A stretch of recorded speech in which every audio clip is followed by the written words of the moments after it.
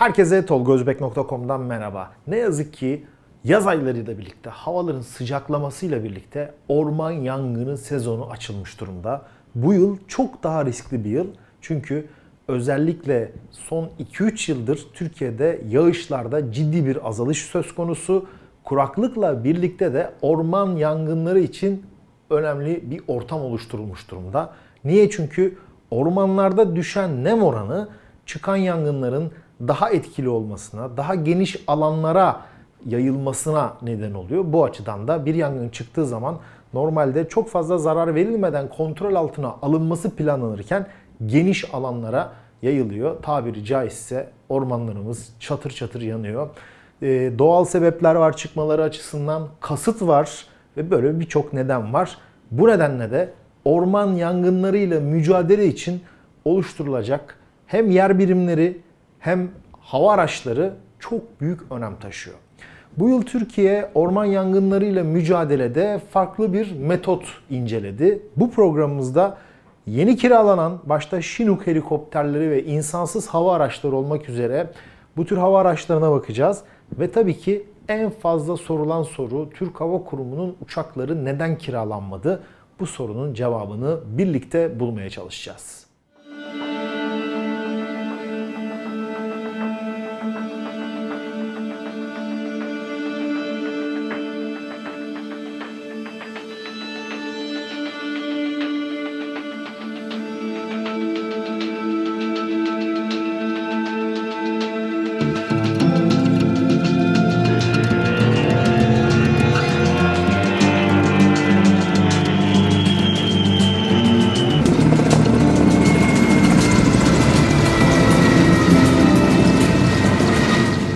son 30 yıldan fazla uzun bir süredir hem e, yurt dışından yabancı tescilli helikopterleri kiralıyor hem uçaklar var. Karma bir filoyla orman yangınlarıyla mücadele ediliyor. Bu yıl ilk defa Amerika Birleşik Devletleri merkezli Columbia Helicopters şirketinden 2 adet Chinook tipi helikopter kiralandı. Bu helikopterlerin de enteresan bir hikayesi var. Helikopterler uzun bir süredir yaklaşık 10 yıldır Afganistan'da görev yapıyordu ve Afganistan'da Amerikan güçleri işte birlikler arası malzemelerin taşınması, personel taşınması gibi görevlerde bu sivil tescilli yani sivil hava aracı kategorisindeki Chinook'lar destek veriyordu. Ve bu Chinook'ların Amerika'nın Afganistan'dan çekilmesiyle birlikte boşa çıktı. Bu arada da işte Türkiye'deki yangın sezonu başladı ve 2 adet Chinook Columbia Helicopters şirketinden kiralandı. Columbia Helicopters da ilginç bir şirket. Ağır yük taşımak amacıyla geniş bir helikopter filosu var. İşte bir bakıyorsunuz e, belirli dönemlerde orman yangını söndürmek üzere bu helikopterler görev yapıyor. Bazen bakıyorsunuz işte ağır yüklerin taşınması, işte dağ başına bir yüksek gerilim hattı taşınacak. Onların direkleri bu helikopterler tarafından taşınıyor ve çeşitli yerlere bu taşıma işlemleri gerçekleştiriliyor. İki adet helikopter Antonov 124 tipi ağır nakliye uçağıyla Afganistan'dan İstanbul Havalimanı'na getirildi. İstanbul Havalimanı'nda da bu helikopterler uçaktan indirilerek montajı tamamlandı ve uçar hale geldi. Muhtemel önümüzdeki günlerde tabii ki görmek nasip etmesin, niye orman yangını çıkmasın ama bu yaz sezonu için bu helikopterler görev yapacak. Chinook helikopterlerine Model 234 adı veriliyor sivil versiyonlarına. Bunlar e, filolardaki helikopterlerin bir kısmı Boeing tarafından sivil amaçlı üretilmiş Chinook'lar. Bir kısmı da Amerikan ordusundan emekli olmuş ve bu şirket tarafından alınarak sivil hale getirilmiş, işte kabinlerinde değişimler gerçekleştirilmiş helikopterler. Gelen iki helikopter altında Bambi olarak adlandırılan bir sepet taşıyor. Bu sepet işte nehirden, havuzdan veya denizden suyu alıyor. Yaklaşık 10 ton su taşıma kapasitesine sahip bu sepetler ve yangın alanına giderek döküm işlemi gerçekleştiriyor. Chinook helikopterlerin avantajı nedir diye soracak olursanız Chinook helikopterleri uzun yıllardır kullanılan Mi-8 serisi veya bu yılda envantere katılan Mi-26 serisi helikopterlere göre çok daha kıvrak, kısa ve dar alanlarda hızlı manevra kabiliyetiyle birlikte bu alanlarda rahat hareket edebiliyor ve yüksek hızıyla da çok sayıda e, sefer sorti gerçekleştirip sepetine aldığı suları yangın alanına götürebiliyor. Bakalım Chinook'lar nasıl bir performans gösterecekler Türkiye'de bunu da merakla bekliyor olacağız. Bu arada tabii Şinuk derken Türk Silahlı Kuvvetleri de uzun süredir Şinuk'ları kullanıyor. 2009 yılında Türkiye ile Boeing arasında yapılan anlaşmayla ağır nakliye helikopteri olarak CH-47'lerin F serisi seçilmişti. Bu helikopterler ilk teslimatları 2016'da e, bu 15 Temmuz darbe girişiminden hemen kısa bir süre önce envantere girmiş, getirilmişti bu helikopterler. En son teslimatta geçtiğimiz yıl gerçekleşti. Halen Türk Silahlı Kuvvetleri envanterinde 11 adet CH-47F bulunuyor. Bunlardan bir kısmı kara havacılık tarafından kullanılıyor. Bir kısmı da daha koyu renk, siyah renk boyasıyla özel kuvvetler tarafından da kullanılıyor. Zaman zaman bu görüntüler, bu helikopterlere ait helikopterler Türk Silahlı Kuvvetleri'nin tatbikatları e, yapılınca Milli Savunma Bakanlığı tarafından da dağıtılıyor.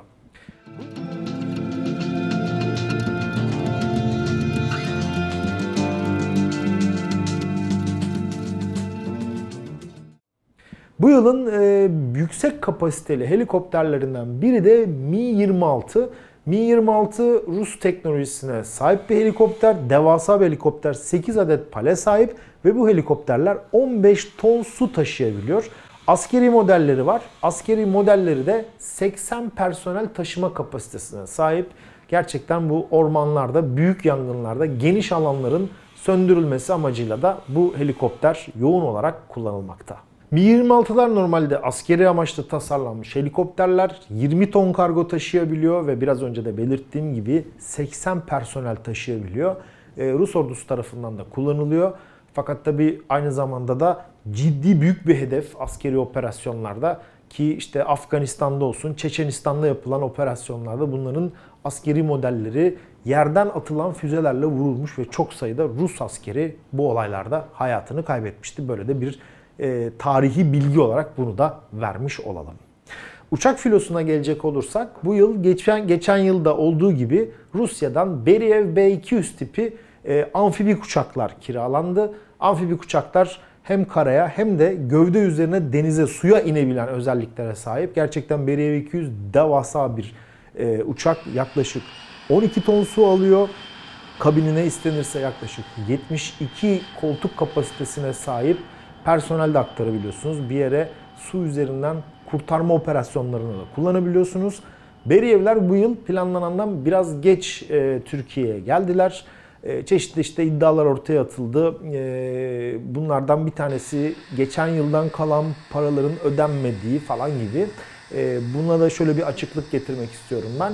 Orman yangınlarında ihaleyi kazanan şirketin yaptığı operasyon Orman Bakanlığı tarafından ve Orman Genel Müdürlüğü tarafından detayla takip ediliyor. İşte e, atılan suyun hedefini vurması gerekiyor. E, eğer bu su tam ateşe belirlenen noktaya atılamadıysa bir e, ceza kesiliyor. Tabii bu ödemenin yanı sıra da böyle çok ciddi kurallar var. Veya işte diyelim hazır bekliyor ekip bir alarm verildiği zaman belirlenen süre içerisinde bu uçağın havalanması gerekiyor. Havalanamadığı veya teknik problem olduğu zaman ceza kesilmeye başlanıyor. Muhtemel bununla ilgili bir sorun olduğunu tahmin ediyorum. E, yaklaşık bir aylık gecikmeyle Beriyevler Türkiye'ye geldi ve 3 adet Beriyev farklı bölgelerde orman yangınlarıyla mücadele edecek. Bunun yanı sıra e, çok ciddi bir helikopter e, filosu kiralanmış durumda.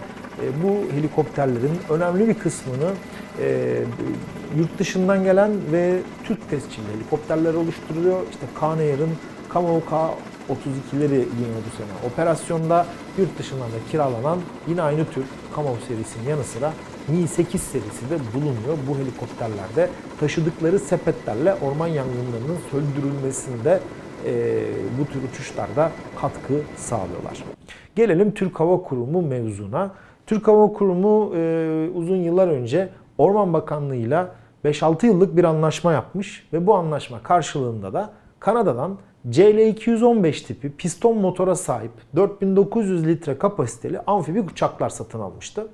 Bu uçaklar kullanıldı ama son 3 yıldır Orman Bakanlığı açılan ihalelerine Türk Hava Kurumu ya eleniyor ya da konulan şartlar nedeniyle tabiri caizse havacılıkta kısa kalıyor. Örneğin bu yıl Orman Bakanlığı dedi ki ben 5 ton 5000 litre kapasiteli uçak istiyorum dedi. Türk Hava Kurumu'nun uçakları ise 4900 litreydi. Yani 100 litre farktan dolayı Türk Hava Kurumu giremedi. Şimdi bu konuda Orman Bakanlığı'nın da haklı olduğu yerler var. Türk Hava Kurumu'nun da haklı olduğu yerler var.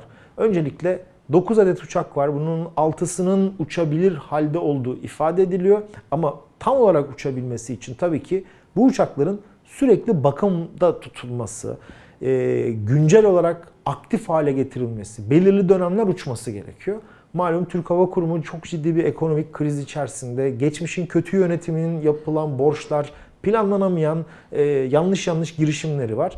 E bunların kalan borçları şu an kayyum yönetimi var. Türk Hava Kurumu'nda toparlanmaya çalışılıyor. E, ihale alınamadığı için de bu uçaklara gerekli bakım, işte yedek parça alımı, modifikasyonlar, şunlar bunlar planlanmamış durumda. E tabii ki bu uçaklarda tecrübeli uçuş ekipleri de başka yerlere geçmiş. Şu an uçuş yapmıyorlar. E, yapmadığı zaman da personel yok uçak. Uçakların yeterli bakımları yapılmamış. Bugün gel dediğiniz zaman haklı olarak Türk Hava Kurumu ciddi bir para talep ediyor ki bu uçakları tekrar ayağa kaldırsın. E, Orman Bakanlığı'nın haklı olduğu noktalarda da işte geçmişteki ihalede e, Türk Hava Kurumu uçaklarından tam verim alınamadığı ifade ediliyor. Yani böyle bir aralarının aslında bulunması gerekiyor ama işte 3 yıldır o uçaklar yatıyor. E, modifikasyonları yapılamıyor ama gerçekten bunlar e, bir bizim ülkemizin varlıkları. E, bu uçakları da bence ayağa kaldırmak ve gelecekle ilgili de bir plan yapılıp bu uçakların ona göre yatırım yapılıp bence yararlanması gerekiyor ama işte nasıl çözülecek bu? Bu kördüğüm açıkçası 3 yıldır çözülemiyor ne yazık ki. Şimdi orman yangınları diyoruz. Ee, izleyicilerimize biraz daha detaylı bilgi vermek gerekirse elinizde aynı insansız hava araçları gibi ne kadar farklı türde hava aracı olursa çünkü gün geliyor orman yangını düz bir arazide çıkıyor. Büyük uçaklarla söndürebiliyorsunuz. Ama gün geliyor daracık bir vadide çıkıyor. O zaman küçük bir uçağa ihtiyacınız var veya daha dar kapasiteli bir helikoptere ihtiyacınız var. Veya çok sayıda hava aracıyla çok sayıda noktada hazır oluyorsunuz. Yani yangın başladı bilgisi geldikten sonra hemen uçağın helikopterin o ilk andaki müdahalesi yangının büyümeden kontrol altına alınmasını sağlayabiliyor. Bence bu konuda Türkiye yıllardır kiralama yapılıyor ama uzun vadeli bir yatırım gerçekten istiyor. İşte bakıyorsunuz dünyada yolcu uçakları, hizmetten çıkan yolcu uçakları kabinlerine yangın söndürme kitleri takılıyor ve yangın söndürme uçağı haline geliyor. İşte bakıyorsunuz son dönemlerde bölgesel yolcu uçakları, pervaneler, destek serileri buna konvert edilmeye başladı. Ama bir taraftan da bakıyorsunuz e, bir Boeing 747-400 tipi büyük bir yangın söndürme uçağı vardı. Süper tanker diyordu Amerikalılar buna. Bu uçakta örneğin şirketinin operasyonu durdurmasından sonra kargo pazarındaki büyümeyle birlikte bir şirket tarafından satın alındı. Yangın söndürme kiti çıkartılıyor ve tekrar kargo uçağı haline getiriyor. Gerçekten neyin ne olacağı çok belli olmuyor. Orman yangınları ile ilgili bilgi verirken geçen yıldan itibaren de insansız hava araçlarının kullanılmaya başlandığını belirtmemizde fayda var. İlk olarak TB2 Bayraktar ki TB2 artık hani dünyaca tanınan e, taktik sınıfta çok önemli bir İHA sistemi Orman Bakanlığı tarafından da kullanılmıştı. Bu yıl envantere Türk Havacılık ve Uzay Sanayi tarafından geliştirilen çift motorlu Aksungur İHA sistemi katıldı. Aksungur'da teknoloji olarak Anka'dan geliştirilmiş birçok özellik var. Ee, ve bu teknolojiler 18 ay gibi kısa bir sürede tasarımı tamamlanıp ürün haline getirildi. Aksungur'a Türk Silahlı Kuvvetleri envanterine girmesinden önce ilk saha tecrübesini e, Orman Bakanlığı bünyesinde, Orman Genel Müdürlüğü bünyesinde e, yapıyor ve gerçekten çok geniş alanların e, devriye uçuşlarıyla kontrol altına tutulması, orman yangını çıktığı zaman yer ekiplerinin koordinasyonu, buradan yapılacak operasyonların verimli hale getirilmesinde de Aksungur gerçekten bir aylık sürede bile kendini ispat etmiş durumda. Umarız bu başarısını sürdürür, ormanlarımızı havadan gözaltına alır ve olabilecek tehlikeler daha büyükken e, söndürülebilir. Çünkü şöyle bir laf vardır özellikle sanayi yangınlarında. Bir yangın başladığında belki bir bardak suyla ilk dakikalarda söndürebilirsiniz. Bu 10 dakika olursa bir kova su veya bir büyük tüple bunu söndürebilirsiniz. Ama bir fabrikada 2 saat geçmişse yangından muhtemel o fabrika kül olmuştur diye bir laf vardır. Bunu da ormanlarımıza uygulayabiliriz. Evet ormanlar gerçekten geleceğe çocuklarımıza bırakacağımız çok önemli miraslar. Ama işte önlemler alınıyor. Bunun yangınların karşısına çıkılması hedefleniyor ama önemli olan doğa sevgisi, ağaç sevgisi bunları bizim çocuklarımıza aşılamamız gerekiyor. Çevre bilincini ne kadar aşılayabilirsek ona e, çocuklarımız ormanlarımıza daha fazla bizlerden gördüğü gibi sahip çıkacaktır ve bu varlıkların yüzlerce yıl boyunca hayatta kalmasını e, ve bir ekosistem oluşturularak dünyamızın daha yeşil olmasına katkı sağlayacaktır. Hafta içi her gün videolarımız saat 19'da bizlere info.tolgozbek.com mail adresi üzerinden ulaşabilirsiniz. Linked sayfamız var. Telegram grubumuz var. Sosyal medyayız. Bizi tolgozbek.com üzerinden de takip edebilirsiniz. Yarın yeni bir videoda görüşmek üzere. Herkese sağlıklı ve mutlu günler diliyorum.